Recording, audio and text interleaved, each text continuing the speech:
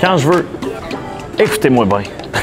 bon, là, les chums, on a découvert qu'il existe un menu qui affiche les gaz à effet de serre associés à chaque repas et ça se passe dans la cafétéria de la Polytechnique Montréal. Fait qu'on est venu rencontrer Patrick Sigana, qui est le conseiller en développement durable et la personne derrière le projet. Là, on est allé dans la cafétéria, on a vu qu'il y avait un menu qui affiche les gaz à effet de serre. Peux-tu me décrire un peu l'initiative? On fait un calcul pour chacun des ingrédients dans l'assiette. Ça donne une, une, certaine quantité de gaz à effet de serre et on associe cette quantité de gaz à effet de serre-là à une note de bulletin. A, B+, C-. On a choisi de se donner une petite couleur locale en affichant ça comme des notes de bulletin. On voulait surtout quelque chose qui se lise rapidement, qui se comprenne rapidement, qui n'ait pas besoin d'une formation préalable en changement climatique. Un 0,3 kg, ça ne parle pas grand monde. Exactement. Alors qu'un D+, c'est comme, ouais, peut-être que je pourrais faire mieux.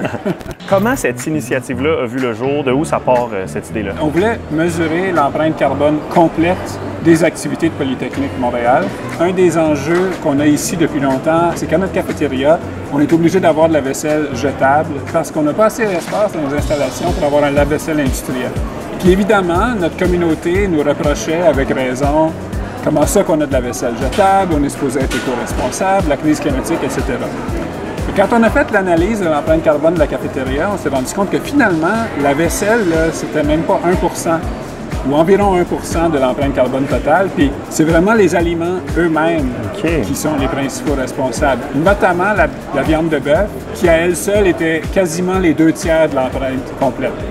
Donc là, on s'est dit, OK, il faut communiquer ça. Il faut dire, oui, dans un monde idéal, on n'aurait pas de la vaisselle jetable, mais on vous invite à regarder le contenu de l'assiette plutôt que le contenant. Pour Polytechnique Montréal, ça fait partie d'une des volontés de réduire l'impact environnemental. Y a-t-il d'autres projets de ce genre-là? Est-ce que vous avez des, des volontés, des objectifs à faire suite à ce projet-là? La cafétéria, c'est un contributeur non négligeable de notre empreinte carbone, mais c'est pas le plus gros, puis c'est pas le seul. Nos trois gros contributeurs de gaz à effet de serre, c'est le fait que dans le pavillon principal où on était tout à l'heure, ça chauffe au gaz naturel. Donc ça, il y a un plan de conversion. D'ici quelques années, on va se faire installer une nouvelle entrée électrique pour pouvoir soit se passer complètement du gaz ou alors juste le garder pour recréter les pointes. Un autre gros morceau, c'est les déplacements professionnels de notre communauté.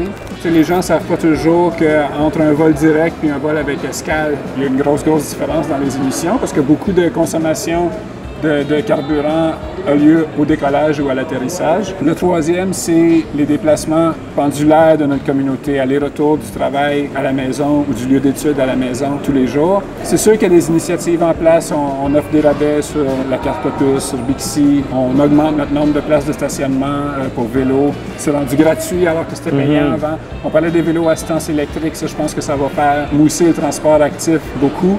Donc, c'est ça. Puis, je que l'alimentation, c'est rendu le, le quatrième morceau. Bien, c'est beau de voir tout ça. Patrick, merci d'avoir pris le temps de nous parler de, cette belle initiative-là. Ça fait plaisir.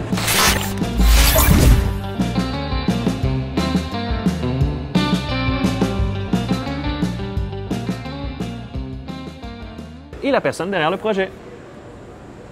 Yeah!